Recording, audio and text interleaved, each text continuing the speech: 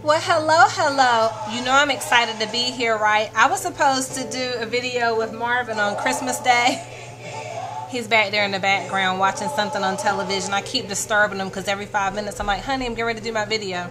But he's so patient. I'm sure it didn't get on his nerves. Well, he's patient most of the time. but anyway, so I missed you guys. And I was just listening to this song by Richard Smallwood in the background called Thank You. I love this song. It has two parts. It's so long. Hold on. I'm going to play some of it for you.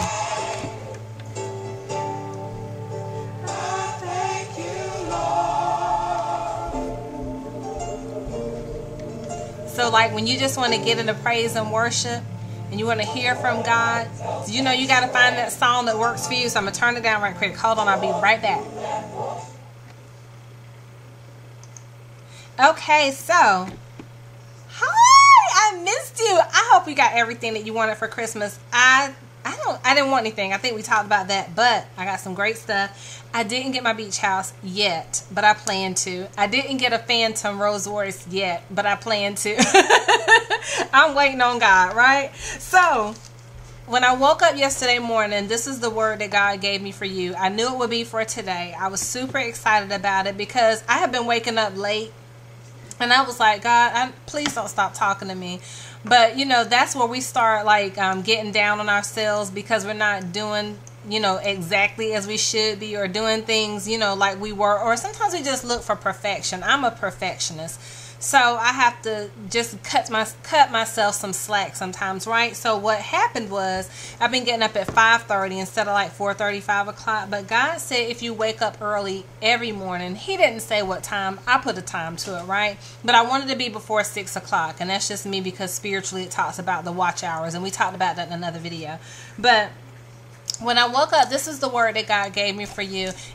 Um, and so I want you to listen to listen to it through the end. So if you need to stop it, come back and listen to it because it's really important. And I really want you to have this message going into 2017 um, because this is the word of the Lord concerning all of us and specifically concerning you. So I wanted to share it with you. So I heard the Lord say that many of you have babies that are past due, meaning many of you should have given birth by now.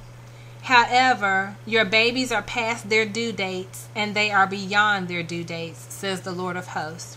When I sat down to read the scriptures and to read God's word before sharing with you and writing this morning, I turned to Isaiah 66, 7 and 14 just by happenstance, I was turning the pages yet as because I was trying to figure out like what am I gonna read. I'm still reading from this, but I just wanted to take a break to share with you. I was trying to figure out what I was gonna read, and it just so happened that the um, that I turned to Isaiah 66, 7 through 14, and it said. Uh, and so God is always leading and guiding us, and He's always leading and guiding me to what He wants me to share with His people, right? Not what I want to share, but what He wants to share. So I was like, wow. When I woke up to write what thus saith the Lord, I heard the Lord again say, Many of you have babies that are past due. And then He leads me to Isaiah, right? So it says before, so this is Isaiah 66 and 7. Before she goes into labor, she gives birth. Before the pains come upon her, she delivers a son. Who has ever heard such a thing? Who has ever seen such things? Can a country be born in a day, or a nation brought forth in a moment? Yet no sooner is Zion in labor than she gives birth to her children. Do I bring to the moment of birth and not give delivery, says the Lord?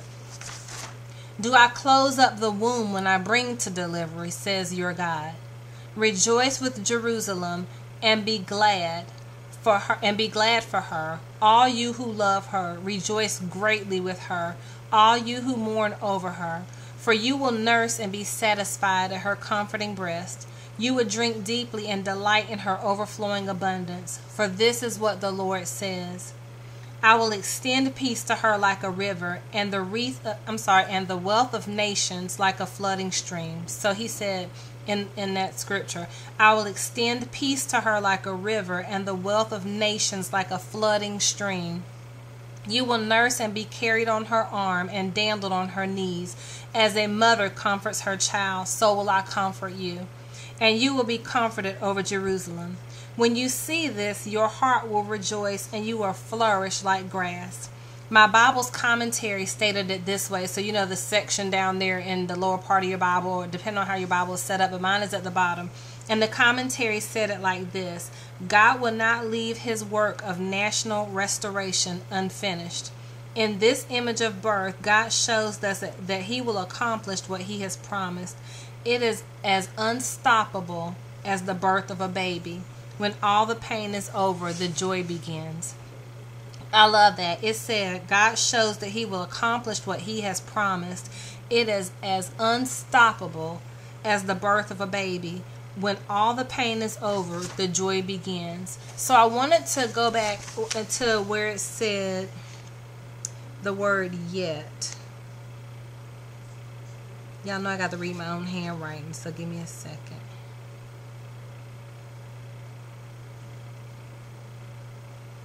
Okay, it says, Yet no sooner is Zion in labor than she gives birth to her children.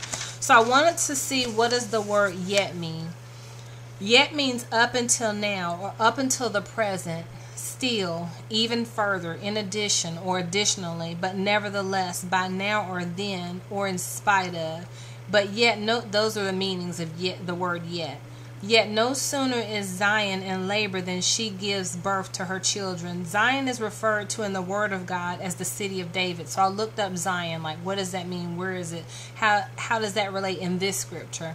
So Zion is referred to in the Word of God as the city of David, a fortified area, the city of the li- of the living God, God's spiritual kingdom, the city of the Lord, the Holy One of Israel. It is that it is time, the Lord's servants, to give birth to your children. What children do you say? So I want to read that to you one more time because I kind of ran that together. But Zion is referred to in the Word of God as the city of David or a fortified city, the city of the living God, God's spiritual kingdom, the city of the Lord, the Holy One of Israel. So this is where God continued to give me his word um, concerning you. It says, It is time, the Lord's servant, to give birth to your children. What children do you say?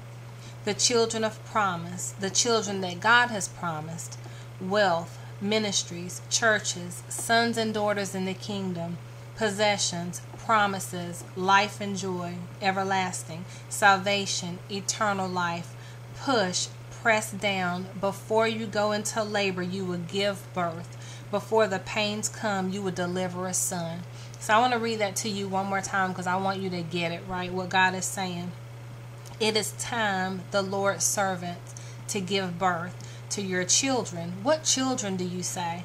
The children of promise, the children that God has promised. So, what are the things that God has promised? He's promised you wealth ministries, churches, sons and daughters in the kingdom, possessions, promises, life and joy everlasting, salvation, eternal life.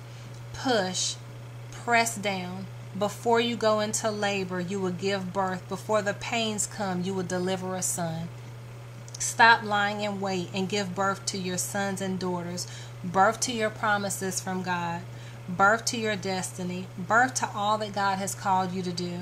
God's word said that I just read to you in Isaiah, do I bring the mo- do I bring to the moment of birth and not give delivery? Do I bring to the moment of birth and not give delivery? Do I close up the womb when I bring to delivery, says your God? Stop delaying your birth. Stop delaying your own deliverances. Your baby is due to be born, and your promises, they have been delayed long enough.